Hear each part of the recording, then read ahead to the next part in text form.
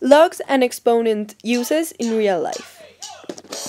In order to change from logs to exponents, this is how you do it. Imagine that you have 2 to the power 3, it is equal to 8. So you take the exponent and you take it to the other side, and you take the result and take it to the other side, and then you take 2 and put it as the base of the log.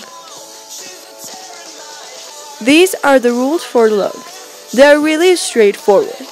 If you wish to understand each one of them, you can pause the video and look at them clearly. The songs on the radio are okay, but my taste in music is your face. And it takes a song to come around to show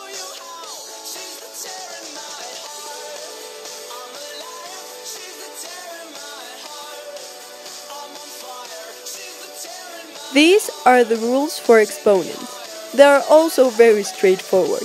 Again, if you want to understand each one of them, you can pause the video and look at them clearly.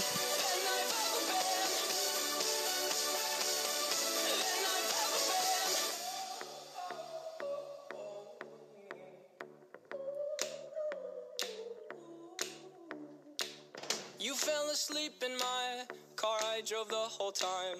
But that's okay, I'll just avoid the hole so you sleep fine. I'm driving here, I sit. Logs and exponents made the world simple. Exponents uses. The first use is computer games. Computer games use a system called the binary system.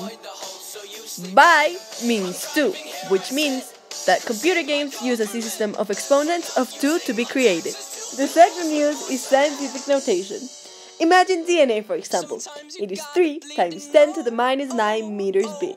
It is much easier writing that than 8.000000003 meters. Another example is the pillars of creation. They are 1 times 10 to the 17 meters big.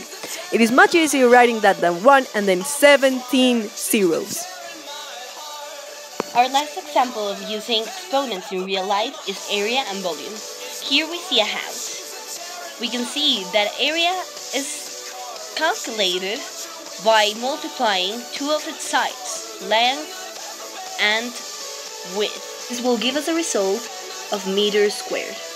Then for volume we will multiply three of its sides, height, width and length, to give us a uh, result with a unit of meter cubed. Logs uses. The first use is music. We think that from do to re to mi to fa it increases from 10, for example. If it is 10 wavelengths to 20 wavelengths to 30 wavelengths to 40 wavelengths, but that is not true. Notes increase exponentially, meaning that if do is 10 to the 1 wavelengths, re is gonna be 10 to the 2 wavelengths, and so on. We can also think of this as if our brains are thinking in logarithms, 10 to the 1 being log 10, 10 to the 2 being log 10 plus log 10, 10 to the 3 being log 10 plus log 10 plus log 10. So, in conclusion, our brains are actually thinking in logs. So use logs to calculate the magnitude of an earthquake. The formula is m equals log base 10 a plus b. This is the Richter for, uh, formula. A is the amplitude in millimeters measured by the seismograph, and B is a distance correction, corrector factor. In this picture, we can see the green dot as the point where the earthquake started, and the yellow part as the seismograph. The distance between them is B, and the answers given by the seismograph will be A. Logs are also used to measure the acidity or alkalinity of the substance. It is measured in pH using the formula pH equals negative log base 10 uh, open brackets H plus close brackets. H plus will be the molar concentrations of dissolved hydrogen ions. In this example, we replaced H plus with 10 to the minus 3 and we solve it, which will give us an answer of pH equals 3.